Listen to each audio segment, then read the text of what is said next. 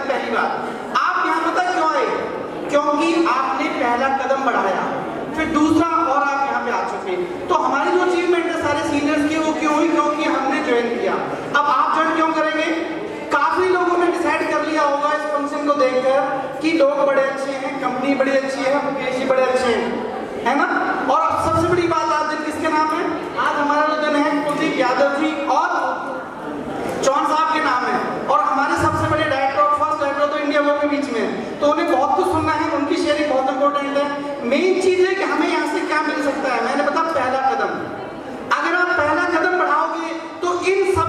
따라